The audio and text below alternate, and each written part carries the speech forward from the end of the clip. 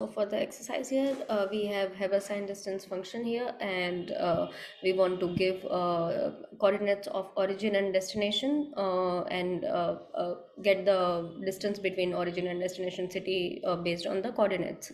So you can go to Google Maps to get any coordinate of like your chosen city. you can go to your place and just right click and you will see uh, latitude and longitude showing here. Uh, you can uh, click and it will say clip to uh, copy to clipboard and then you can use it here. So the uh, order is lat and long so you can use this.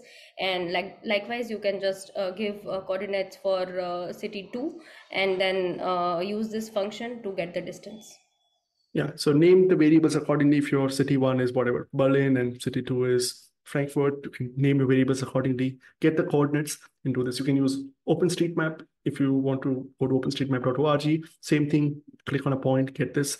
You can also search if you have a city, you can do a Google search and say, what are the coordinates of San Francisco? It'll get this right in the result. So whatever way you want to use it, just find the coordinates in latitude and longitude order for your city and then call the function to get the straight line distance.